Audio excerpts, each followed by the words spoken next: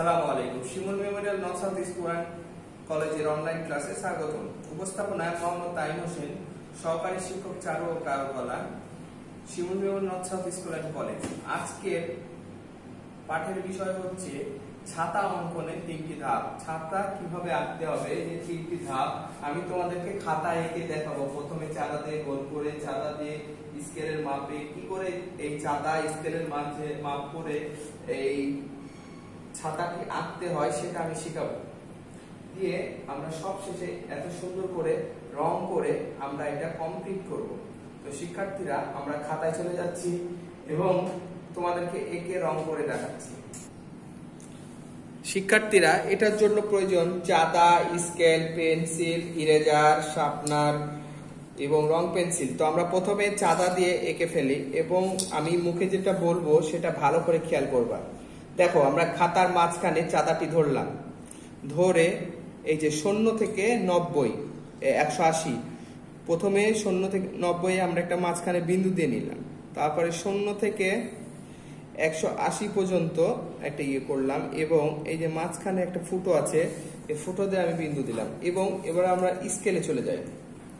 স্কেলে আমরা এটা ধরলে চাঁদার মাপ পুরো ফোর হবে এবং এই যে আমরা মাঝখানে দিয়েছিলাম এখানে টু এবার ওয়ানে এবং থ্রিতে। দেখো তাহলে ওয়ান টু থ্রি ফোর আমরা তিনটা বিন্দু দিলে চাঁদাটার একটি মাপ হয়ে যাচ্ছে এবং তোমরা চাইলে এটা দাগও দিতে পারো হালকা করে। এটা দাগ দিতে বলছি, তাহলে তোমাদের যে ভিতরের ভাঁজগুলো সেগুলো সুবিধা হবে। এরপরে আমি এই যে সোজাসুজি একটি দাগ টেনে নিলাম। প্রথমে মাঝখানেরটা সোজাসুজি টেনে এবং চাঁদা দিয়ে এক পাশে, এই যে দেখো, সুন্দর করে এখান থেকে আমি বিন্দু মিলালাম। এবার এই বিন্দু থেকে আমি মাথার অংশটা মিলিয়ে ফেলব, চাঁদা ঘুরিয়ে। এই যে সুন্দর করে মিলিয়ে দিলাম। এবার আমি নিচের রেখা যেটা দিয়েছিলাম, যেহেতু আমার দাগ দেওয়ার ইয়ে শেষ, তাই আমি মিছিয়ে দিলাম।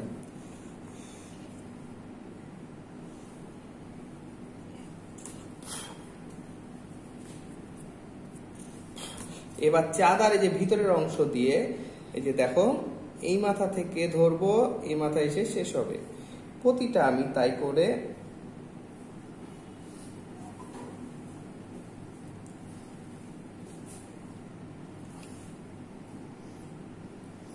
এইভাবে আমি চারটা ঘরে সুন্দর করে আমি দিয়ে ফেললাম। এবার এবার মাথায় মাথায় আমি এই যে এ, এর মতো করে একটি চিহ্ন দিয়ে দিলাম।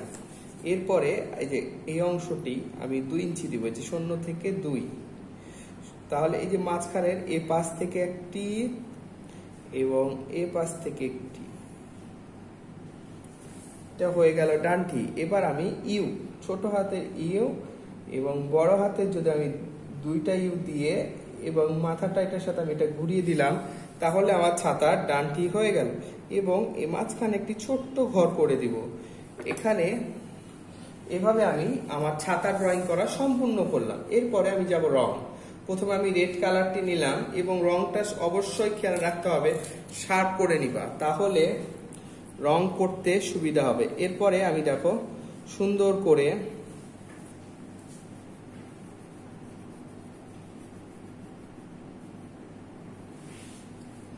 আমি আউটলাইন করে নিচ্ছি।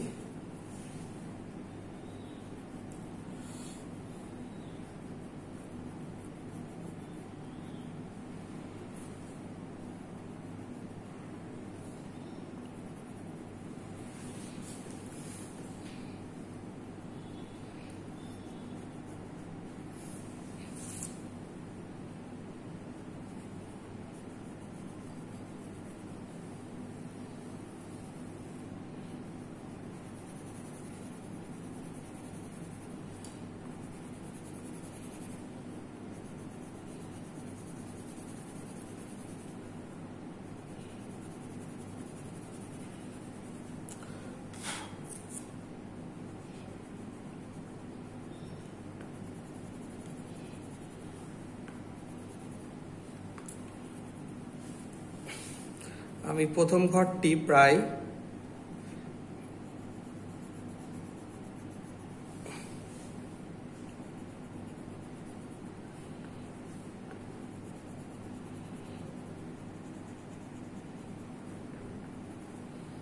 এরপরে আমি হালকা সবুজ কালারটা নিলাম।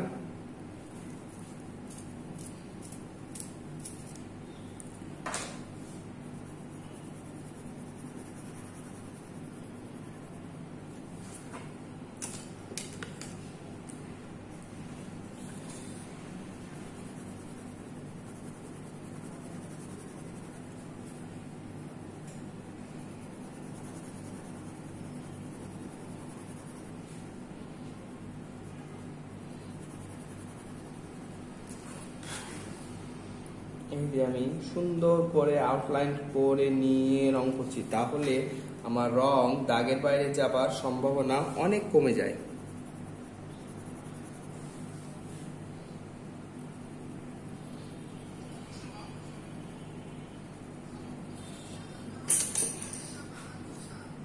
এরপর আমি নীল কালারটা নিলাম।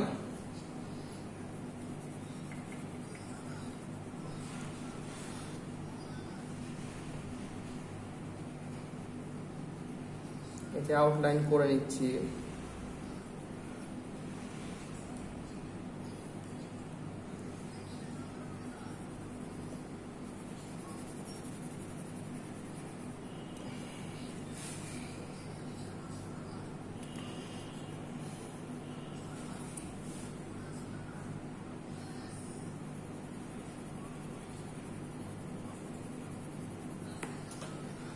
আমি ময়লাগুলো ফু দিয়ে উড়িয়ে দিচ্ছি।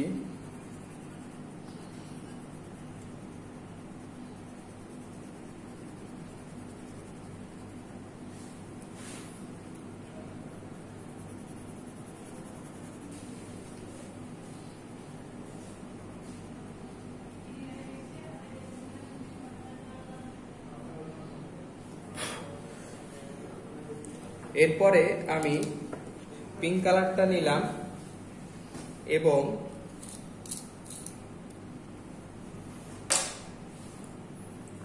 এটাও আউটলাইন করে নিচ্ছি।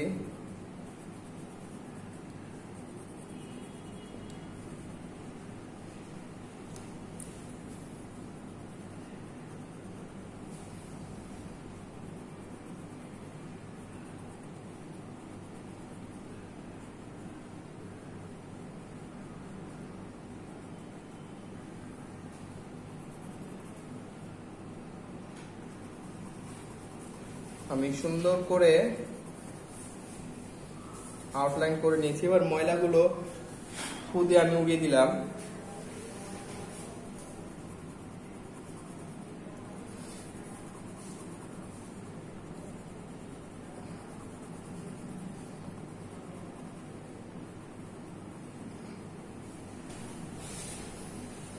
কেমন চাপ?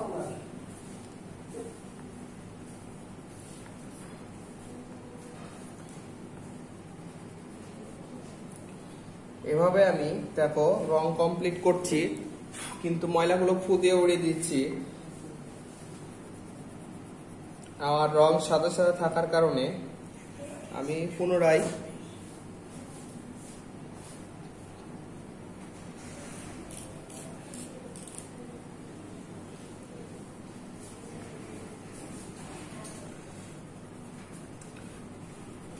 আমি যে আমার যেন সাদা সাদা না থাকে এরপরে আমি হলুদ কালারটা নিলাম, ইয়েলো কালারটা নিয়ে আমি যে ছোট্ট অংশটা রং করে ফেললাম। এরপর আমি কফি কালারটা নিয়েছি। কফি কালারটা নিয়ে প্রথমে মাথার অংশে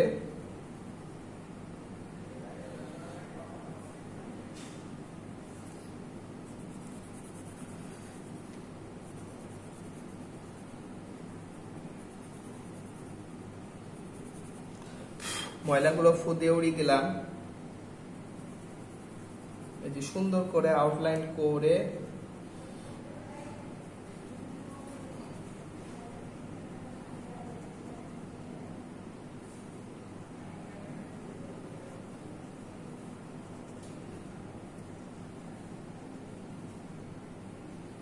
এভাবে আমি আমার রং করা সম্পূর্ণ করলাম। প্রিয় শিক্ষার্থীরা, তোমরা দেখলা আমি কীভাবে ছাদাটি রং করলাম, একে রং করলাম। তোমরা বাসায় এভাবে প্র্যাকটিস করবা।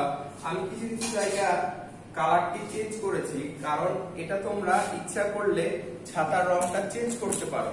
তবে অবশ্যই ছাতার এই উপরের অংশে কফি, বাদামি, কালো, গোল্ডেন, এগুলো দিলে তেমন খুব একটা ভালো দেখাবে না। ওই জন্য যেগুলো কালার ভালো, আমরা সেগুলো তোমাদেরকে করে দেখার চেষ্টা করেছি। তো আশা করি তোমরা ক্লাসটি বুঝতে পেরেছ এবং তোমরা আরও চেষ্টা করবা, কারণ চেষ্টা করলেই ভালো ড্রয়িং করা সম্ভব। তো আজকের ক্লাসটা আমি এখানেই শেষ করছি। আগামীতে আরও নতুন নতুন ক্লাস নিয়ে আমি তোমাদের মাঝে উপস্থিত হব। তো সে পর্যন্ত সুস্থ থাকবে, ভালো থাকবে, এই কামনায় আমি ক্লাস শেষ করছি। আল্লাহ হাফেজ।